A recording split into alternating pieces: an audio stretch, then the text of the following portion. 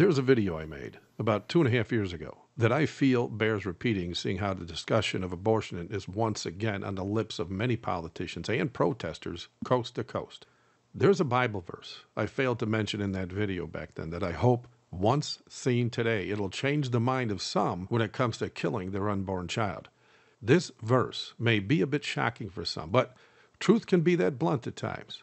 When speaking of Jesus Christ, it says this in John chapter 1, verse 9. It says that he was the true light which lighteth every man that cometh into the world. Most Christians understand that Jesus is creator. And so that verse alone may pack a wallop when I share a few seconds of this video I made a few years ago. And if you want to watch the entire video, it's only two minutes long. Still, some would try to explain it away so as to vindicate their decision to kill their child. But this next passage is even more intense in that even though science was unable to verify this thousands of years ago when it was written, Thanks to modern advances of today, this statement, declared in the Word of God back then, can be literally seen verified in the eyes of anyone looking on when they see this video clip that I'm about to share. This passage I speak of is found in John chapter 1, verses 1 to 4. It says this In the beginning was the Word, and the Word was with God, and the Word was God.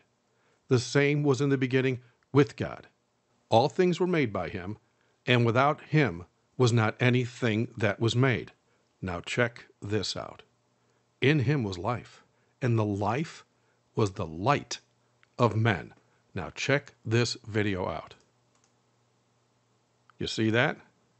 Those are eggs being fertilized. Isn't that something? The split second those eggs are fertilized, there's a burst of light just as the Bible says. The life was the light of men. Now, imagine this, if you will. If scientists found a one day old fertilized egg on Mars, do you think that they would say a useless pile of cells was discovered on that planet? No, of course not. They wouldn't say that. They would boldly declare all around this world that human life was found on Mars.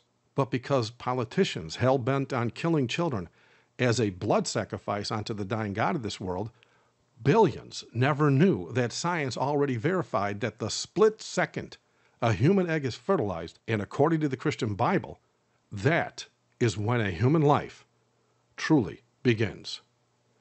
Thank you for watching. God bless.